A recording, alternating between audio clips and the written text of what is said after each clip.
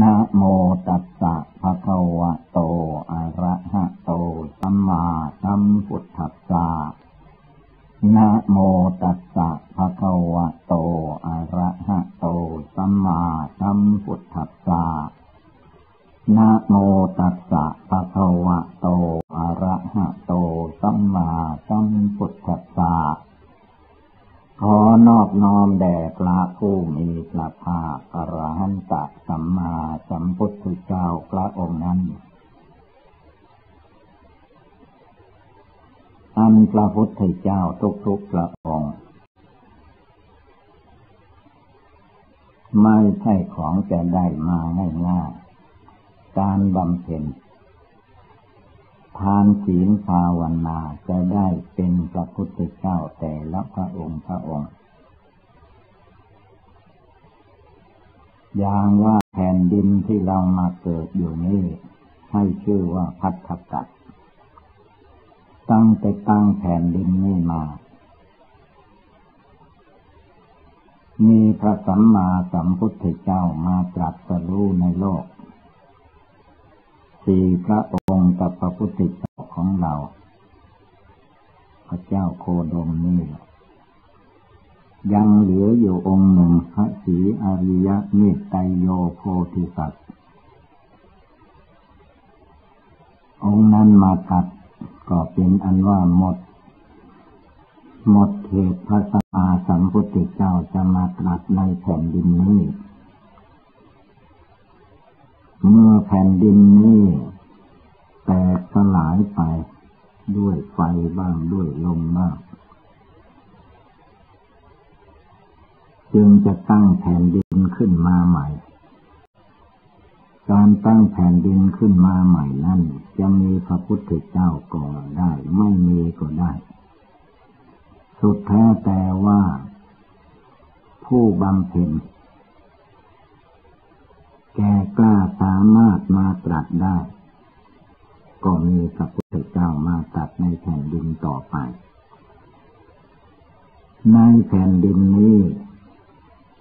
เราได้เกิดมา ในศาสนาของพระพุทธเจ้าโคดม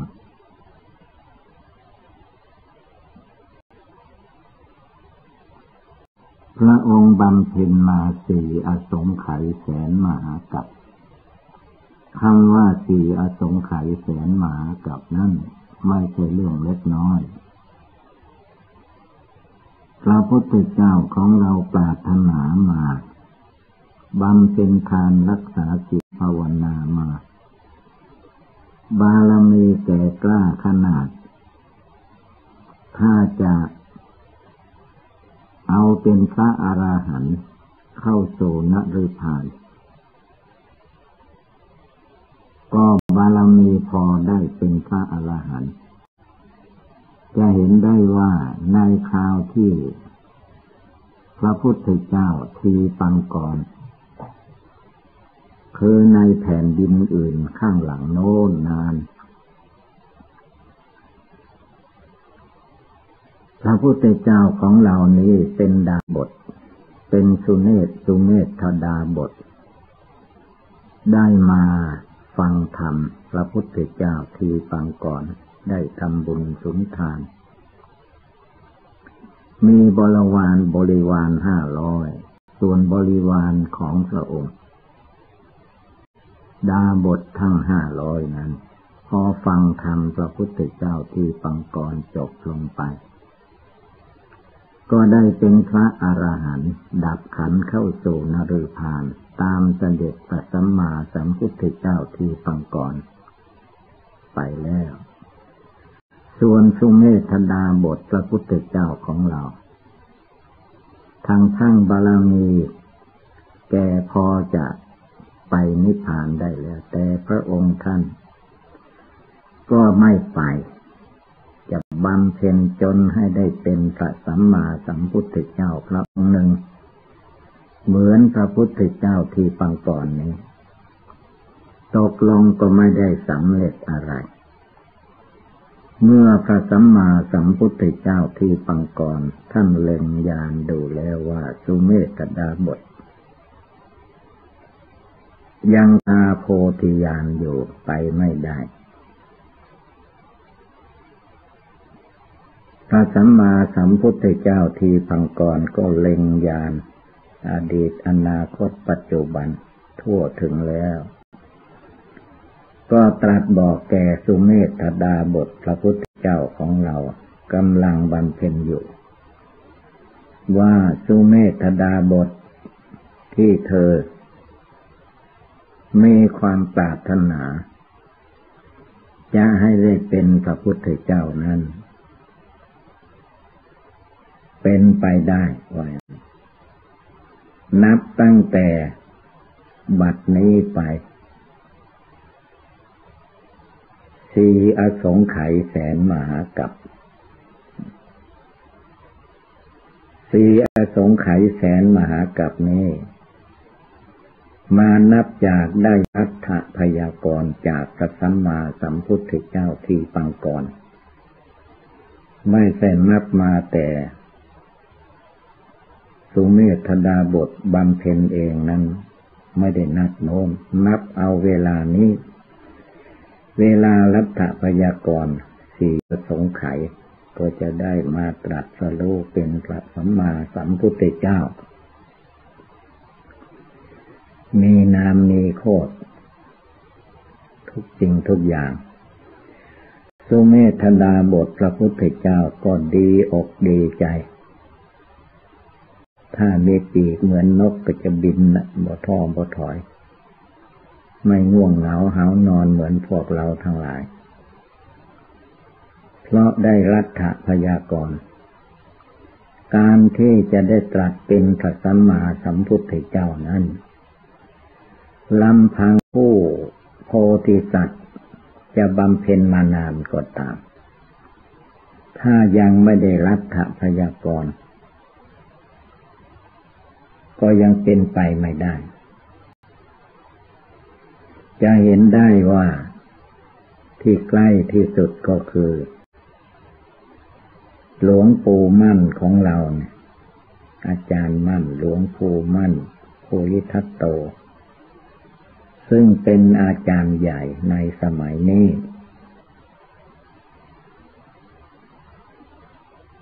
เมื่อพระพุทธเจ้าของเรา พระเจ้าโคนี่แหละมาตรัสรู้ในโลก คือในอินเดีย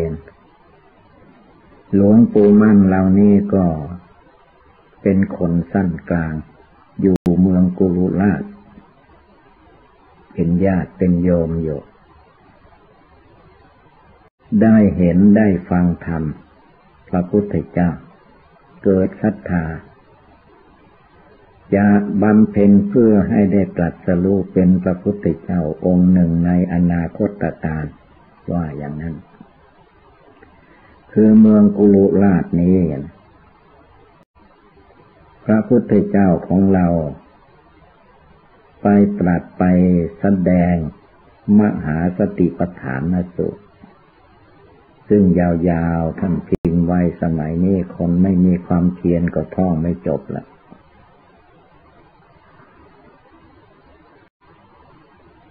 หลวงปู่มั่นก็ตั้งใจตั้งแต่วาระนั้นมา จะเอาให้ได้เป็นพระพุทธเจ้าให้ได้ มีอะไรมาก็ทำบุญทำทานเก็บทำพร้อมเพียงกันทั้งลูกทั้งเมีย เวลานั้นยังไม่ได้เป็นนักบวชตั้งใจเพื่อจะให้ได้เป็นพระพุทธเจ้า เพราะว่า ได้เห็นลักษมีหกประการของพระพุทธเจ้า สวยงามแล้วรูปร่างท่าทางพระพุทธเจ้าก็เรียกว่ามีสาลักษณะ ลักษณะเล็กแปดสิบลักษณะใหญ่เรียกว่าสามสิบสอง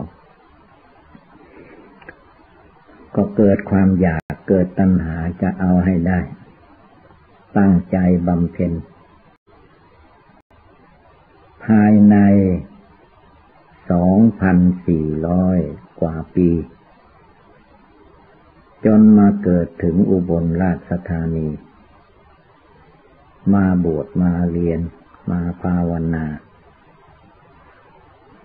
จนอินทรีย์บารมีแก่กล้า จึงมาละลึกได้ว่า เออ การที่จะเป็นพระสัมมาสัมพุทธเจ้านั้น กินเวลานาน ก็เลยเลิกล้ม การที่จะเอาให้เป็นพระพุทธเจ้า ขอภาวนาไปถึงนิพพานก็เอาแล้วว่างก็เลยหยุดที่จะเป็นพระสัมมาสัมพุทธเจ้า นี่แหละถ้าหากว่ามีแต่ตัวคนเดียวมันล่มละลายได้ได้ แต่ถ้าได้รัฐพยากรจากพระสัมมาสัมพุทธเจ้าพระองค์ใดพระองค์หนึ่ง เลิกล้มไม่ได้ ตายเป็นตาย ต้องสู้ ถ้าปาถนาคนเดียวแล้วก็ล่มละลายได้ อันนั้นให้เราทุกคนเห็นว่า กว่าจะมีพระสัมมาสัมพุทธเจ้าแต่ละพระองค์ มาตรัสรู้ในโลก ยังมีพระธรรมคำสอน ไว้ ถึงห้าพันปี พวกเราทั้งหลายก็ยังเกิดมาทันอยู่ อันนี้ชื่อว่าเป็นบุญเป็นกุศล อันสำคัญยิ่งอันหนึ่ง ที่เราไม่ควรประมาท ถ้าเราประมาทมัวเมา ไม่ประพฤติตามพระธรรมวินัยคำสอนของพระพุทธเจ้า อาจจะไปข้างหน้าไม่มีที่สิ้นสุดก็เป็นได้ แต่ถ้าเราไม่ประมาท ตั้งใจบำเพ็ญทานรักษาศีลห้าศีลแปดศีลสิบสองร้อยยี่สิบเจ็ดเจริญภาวนาไม่ท้อถอย เอาชีวิตเป็นแดนสุดท้าย ถ้าบุญบารมีเก่าเราบำเพ็ญมามากพอบารมีใหม่บำเพ็ญเพิ่มเติมกันเข้า ก็อาจจะไปถึงซึ่งนิพพาน ตามเสด็จ พระพุทธเจ้าก็ได้แต่นั้นอย่ามาทำใจให้ท้อแท้อ่อนแอ จงพากันตื่นขึ้นลุกขึ้นบำเพ็ญภาวนา ให้เต็มที่ โดยเฉพาะคือว่าพรรษานี้ เป็นพรรษาที่เราทำทั้งหลายได้มาโยอาศัยในถ้ำผาปล่องชั่วระยะนี้ ก็ให้ตั้งอกตั้งใจจเจริญภาวนา ไม่เฉพาะแต่เวลานี้ แม้เราอยู่ที่ไหนไปที่ไหนก็ให้ตั้งต้นทำเรื่อยไปเพราะบุญกุศลที่เราทำไม่ทอดโทละไม่ละทิ้งอันนั้นแหละ เป็นนิสัยเป็นปัจจัย ต่อเนื่องกันไปเรียกว่าไม่ทิ้ง ทานศีลภาวนารวมจิตรวมใจให้มีกำลังแก่กล้าสามารถขึ้นไปโดยลำดับลำดับ การปฏิบัติบูชาภาวนาในทางพุทธศาสนานั้น เราจะคิดพึ่งผู้อื่นนั้น ไม่ค่อยจะได้มากมายนัก ให้คิดพึ่งตัวเราเอง เราเองต้องทำบุญให้ทาน เราเองต้องรักษาศีลห้าศีลแปดให้บริสุทธิ์ เมื่อเราบวชเป็นเนนก็รักษาศีลเนนให้บริสุทธิ์ เมื่อบวชเป็นพระขาวนางชีพรามณี ก็รักษาศีลของเราให้บริสุทธิ์ ไม่ได้บวชก็ตามรักษาศีลห้า แม้เรามีศีลห้าอยู่ในกายวาจาจิตของเราก็มีทาง ที่จะเป็นไปเพื่อความพ้นทุกข์ภายในโลกในวัฏสงสารได้ ขึ้นโยกับความตั้งใจ ใจที่เราตั้งในขณะนี้ย่อมเป็นนิสัยปัจจัย แม้เราจะตายจากโลกนี้ไปแล้วก็ตาม การเกิดการตายเป็นธรรมดาของสังขาร บุญบารมีที่เราบำเพ็ญมาบำเพ็ญอยู่จะบำเพ็ญต่อไป อันนี้สำคัญกว่าชีวิต ชีวิตนั้นเอาแน่นอนไม่ได้ มันจะแตกดับทำลายตายเมื่อใดเวลาใดเราก็ห้ามไม่ได้ แต่ทานศีลภาวนา ในจิตใจของเรานั้นเราต้องทำเองปฏิบัติเองบำเพ็ญให้ได้ให้ถึง ตามสติกำลังความภาคเพียรพยายามความอดความทนของเราอีกทีหนึ่งเปรียบอุปมาเหมือนอย่างว่า คนเราที่เกิดมาในโลกนี้ เมื่อเราเกิดมาเป็นเด็กเป็นคนหนุ่ม วิชาว่ายน้ำเราจะไม่หัดไม่ได้ เวลาตกน้ำเราก็ตาย เพราะไม่ได้หัดวิชาว่ายน้ำวิชาว่ายน้ำนี่เป็นเหมือนกับว่าบุญบารมีที่เราบำเพ็ญในทานในศีลในภาวนา มารวมอยู่ที่ตัวบุคคลผู้นั้น เมื่อบุคคลผู้นั้นได้ฝึก หัดฝึกซ้อมวิธีว่ายน้ำ เวลาไปเรือไปแพหรือมีอะไรเกิดขึ้น เกิดเรือล่มแพจม บุคคลผู้นั้นจะไม่ตาย เพราะเรือล่มแพจม เพราะเขาฝึกหัดวิชาว่ายน้ำไว้ คนนั้นจะลอยน้ำได้ ไม่ตาย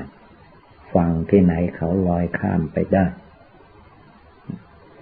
เปรียบเหมือนเรามีทานมีศีลมีภาวนาอยู่ที่กายวาจาจิตของเราอยู่ทุกลมหายใจ ไม่ย่อท้อในการจะบำเพ็ญทานศีลภาวนาให้ก้าวหน้า เหมือนบุคคลที่ว่ายน้ำเป็น เรือล่มแพจมเมื่อใดก็ลอยน้ำดับปลอดภัยอันตรายไม่ต้องไปร้องขอให้คนอื่นช่วย ตัวเองช่วยตัวเอง มือทั้งสองแขนทั้งสอง ขาทั้งสอง ตัวเรามีใจกล่องว่ายน้ำข้ามมหาสมุทรสาครได้ คือความตั้งใจมั่นในการตั้งใจปฏิบัติบูชาภาวนา ไม่ให้จิตใจท้อถอย แม้จะยังไม่ได้ไม่ถึงก็เพียรพยายาม คนเราทุกคนต้องอาศัยความเพียรความหมั่นความขยัน ฝึกฝนอบรมจิตใจของตนให้สงบระงับตั้งมั่นลงไปให้ได้ ที่ท่านให้นั่งขัดสมาธิบ้าง นั่งบริกรรมภาวนาบ้าง นึกพุทโธบ้าง นึกถึงมรณะภัยคือความตายบ้าง ในสมถกรรมฐานสี่สิบประการ ข้อใดข้อหนึ่งหรือทั้งหมดทั้งมวลก็ได้ เอามานึกมาเจริญไว้ในจิตในใจ ไม่ให้จิตใจเราตกต่ำต้อยน้อยปัญญา ให้มีสติให้มาก มีสมาธิตั้งมั่นให้มั่นคง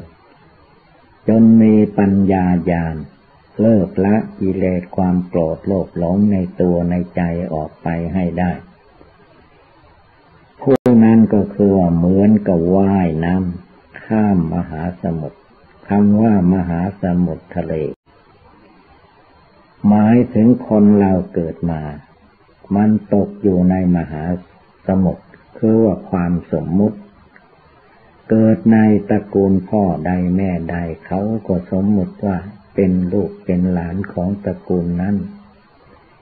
ของคนบ้านนั้น ของตำบลนนั้น ของอำเภอนั้น ของจังหวัดนั้น ของประเทศนั้น ของศาสนานั้นนั้นที่เขานับถือมา ล้วนแล้วแต่มหาสมุทรคือว่าสมมุตินิยม แต่งตั้งผูกมัดลัดลึงให้จิตใจเราคล้องอยู่เป็นอยู่ เราจะต้องแก้ไขสมมุติต่างๆ ฝึกหัดทั้งมือทั้งเท้าทั้งกายวาจาจิตว่ายออกจากมหาสมุทรสาครไม่ให้จิตมาติดมาคล้องมายินดีพอใจในรูป ในเสียงในกลิ่นในรสในโผฏฐะธรรมาลม ในมนุษย์โลก ในเทวโลก ในพรมโลก ในเปตาโลกยมโลก ในสิ่งเหล่านี้ไม่ให้มันมาเกี่ยวเกาะกังวลจิตใจเราให้มีความกล้าหาญสามารถอาจหารเด็ดเดี่ยว เลิกละกิเลสความโกรธในใจให้เบาบางหมดสิ้นไป เลิกละกิเลสความโลภความอยากได้ในใจของเราให้เบาบางหมดสิ้นไป เลิกละความหลงอวิชชาตัณหากิเลสพันห้าตัณหาร้อยแปดให้หมดให้สิ้นไปในหัวใจของเราทุกคน เมื่อเราทุกคนตั้งจิตเจตนาอย่างนี้ในหัวใจเต็มที่แล้ว ก็ได้ชื่อว่าไม่เป็นของยากไม่เป็นของเหลือวิสัย อยู่ในวิสัยทุกคนจะต้องทำได้ปฏิบัติได้ ไม่ยาก ความยุ่งยากย่อมหายไป เมื่อเราภาวนาตั้งใจมั่น ไม่หวั่นไหวไปตามกิเลสกรรมวัตถุกรรมไม่ปล่อยให้อำนาจฝ่ายต่ำมาทับถมจิตใจจิตใจสูง สูงส่งคือว่าสูงขึ้น ไม่ยอมคิดไปตามอำนาจกิเลสราคะโทสะโมหะนั่นแหละ เรียกว่าจิตใจสูง จิตใจไม่หลงไหลติดโยข้องอยู่ในยศในลาบในหน้า ในตาในชื่อ ในเสียงในสมมตินิยมต่าง ๆไม่ให้มาลุ่มหลงมัวเมาในการกินการนอนสนุกเฮฮาภาษามนุษย์ เอาจิตใจของเราให้รู้แจ้งเห็นจริงว่า ชีวิตของเราที่เกิดมาแล้วมรณะภัยคือความตายนั้นมันใกล้เข้ามาขยับเข้ามาหาตัวเราอยู่ทุกเวลามรนังเมภาวิสติความตายใกล้เข้ามา เราจะมานิ่งนอนใจเฉยอยู่ไม่ได้ เราจะต้องลุกขึ้นยืนหยัดต่อสู้กิเลสมารสังขารมารเหล่านี้ ไม่ให้มาทับถมจิตใจของเรา ใจของเราให้ขาวสะอาดเหมือนผ้าใหม่ผ้าขาว ธรรมดาผ้าขาวผ้าใหม่ใครเห็นก็สะอาดตา ไม่เปื้อนเปื้อเลอะเทอะ ได้แก่จิตใจของเราขาวสะอาดมุ่งต่อ พระนิพพาน นิพพานังปรมังสุขขังนิพพานเป็นสุข นิพพานังปรมังสูญอย่างนิพพานเลิกละกิเลสจนสูญสิ้นไป จนมีความสุขในจิตในใจ นิพพานไม่ใช่สุขกาย นิพพานเป็นสุขใจ ใจมีความสุขใจไม่ทุกข์เรียกว่าเป็นใจนิพพาน ร่างกายสังขารนี้มีชลาความแก่ มีพยาธิความเจ็บไข้ได้ป่วยเป็นธรรมดา ผลที่สุดแก่ก็ตายไม่แก่ก็ตาย เมื่อถึงเวลาแตกดับตายมันก็ตายไป จิตใจไม่ได้ตายตามรูปร่างกายเห็นนั้นใจไม่ตายใจให้ภาวนา ใจไม่แก่ใจให้ภาวนา ใจไม่เจ็บ อย่าไปเจ็บตามรูปร่างกาย ให้ใจนั้นตั้งมั่นอยู่ในจิตในใจอยู่ภายในตัวให้สูงกว่าร่างกายสังขาร ร่างกายสังขารเจ็บไข้ได้ป่วยก็ให้เห็นว่าร่างกายเขาไม่สบายต่างหากจิตเราเป็นผู้สบายภาวนาอยู่ในหัวใจทุกลมหายใจเข้าออก ตั้งอกตั้งใจบำเพ็ญสานธรรมในทางพุทธศาสนานี้ ให้เต็มที่เต็มทางในใจของเราทุกคน ตัวเองต้องพึ่งตัวเองเรียกว่าอัตตาหิอัตโนนาโถตนเป็นที่พึ่งของตน โกหินาโถปโลสยังสโยปโลสยาบุคคลอื่นจะมาเป็นที่พึ่งของเราจริงจังไม่ได้ เราต้องทำเราต้องปฏิบัติศีลห้าศีลแปดศีลสิบสองร้อยยี่สิบเจ็ดเราต้องรักษา การเจริญภาวนาเราต้องทำต้องประกอบทุกวันทุกคืนเผลอเมื่อใดไม่ได้ เราต้องตั้งใจขึ้นมาใหม่ เอาจนไม่คลั่งไม่เผลอทุกอิริยาบถยืนเดินนั่งนอนจิตใจตั้งมั่นในธรรมะปฏิบัติ เมื่อจิตใจดวงนี้แหละ มีศรัทธาแก่กล้าสามารถเต็มที่แล้ว อะไรอะไรต้องรวมมาสู่จิตใจของเราทุกคนนั่นเอง อย่าได้มีความท้อแท้อ่อนแอมรรคผลนิพพานไม่จะอยู่ท้องฟ้าป่าหิมพานอื่น หากมีอยู่ที่กายที่วาจาที่จิตที่ใจ ที่หนังหุ้มโยเป็นที่สุดรอบที่ลมหายใจเข้าออกอยู่นี่เอง มีอยู่ที่นี่เรามาสังวรระวังรักษาภาวนาอยู่ตรงนี้ ให้จิตใจตรงนี้มีความความตนมีความภาคความเพียรให้มีความเพียรพยายาม ไม่ให้จิตใจละทิ้งการปฏิบัติบูชาบำเพ็ญอยู่ตลอดเวลา ตราบใดที่ยังมาเกิดแก่เจ็บตายในโลก เราก็จะบำเพ็ญบารมีของเราต่อไป จนข้ามพ้นได้เหมือนพระพุทธเจ้าพระอริยสงสาวกเจ้าทั้งหลาย ท่านผู้ข้ามพ้นไปแล้ว ท่านทำปฏิบัติ ท่านภาวนาละกิเลสท่านไม่ยึดหน้าถือตาไม่ยึดตัวถือตนไม่ยึดเรายึดของของเรา ท่านมีความตั้งใจมั่นไม่หวั่นไหว จึงได้บรรลุคุณธรรมอันพิเศษละกิเลสให้สิ้นไป ในสมัยครั้งพุทธกาลแม้สมัยนี้ถ้าเราตั้งใจแล้วก็ได้ ไม่มีอะไรที่จะมาเป็นอุปสรรค เมื่อใจเราไม่มีอุปสรรคสิ่งต่างๆจะมาเป็นอุปสรรคไม่ได้ จึงให้พากันตั้งอกตั้งใจ ปฏิบัติบูชาภาวนาจิตใจอย่าได้ง่วงเหาเหานอนมีความแช่มชื่นในธรรมปฏิบัติ เมื่อใจของเราไม่ง่วงเหาเหานอน มีธรรมปีติ ปีติยินดีในธรรมปฏิบัติ ย่อมมีความแก้วกล้าสามารถอาหารในตัวในใจของเราได้ทุกเวลา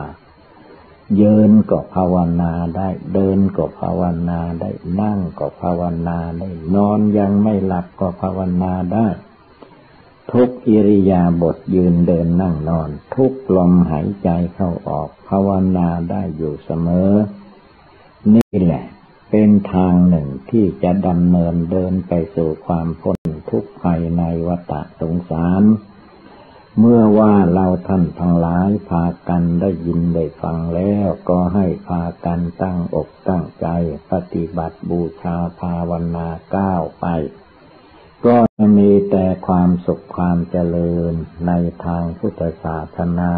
ดังแสดงมาก็สมควรด้วยกาละเวลา เอวังก็มีด้วยสกาละกันนี สัพพีติโยวิวัชชันตุสัพพะโรโค วินัสสะตุมาเต ภะวัตวันตะราโยสุขี ทีฆายุโก ภะวะอะภิวาทะนะสีลิสสะ นิจจังวุฑฒาปะจายิโน จัตตาโรธัมมาวัฑฒันติ อายุวัณโณ สุขัง พะลัง